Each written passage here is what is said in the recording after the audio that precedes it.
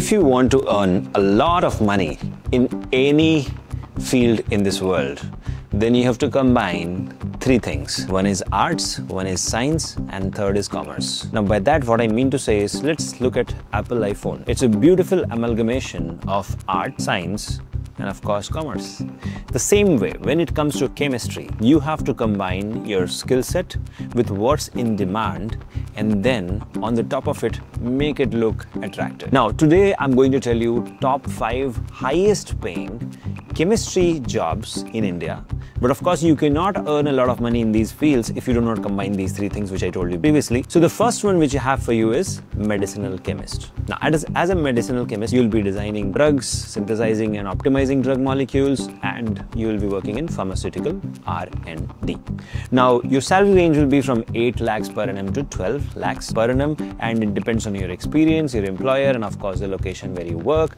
And of course, like I said, you have to combine art, science, and commerce. Now, the second one in which you can earn a lot of money is a patent attorney. So you have to write the patent agent exam, and of course, for that you can always take help of Rasayanika, and you can draft and manage patent filings for various chemical innovations, inventions, assist with the IP strategy in the pharma and the biotech. Now, the salary ranges in between 10 lakhs per annum to 30 lakhs per annum, and you could be working with top tier firms and consulting firms across the globe. So that's one of the highest paying job. The third one which I have for you is analytical chemist. Now, analytical are in huge demand in biotech as well as pharma companies.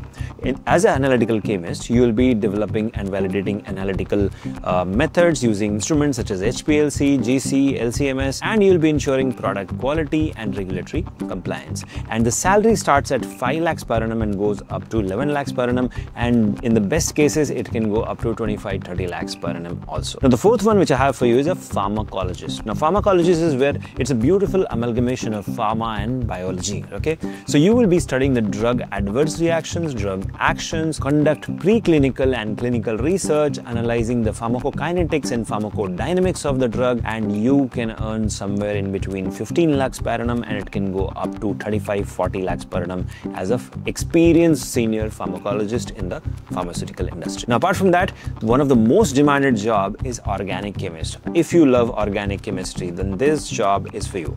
Now, you'll start as a lead who will be doing a lot of organic synthesis. You'll be working in teams in pharma, material science, and specialty chemical companies. And the salary will start at 4 lakhs per annum as a fresher and it will go up to 39, 40 lakhs per annum. And that's the best part of organic chemistry. Now, my suggestion is choose what you like and of course combine art, science and commerce. You'll win. All the best.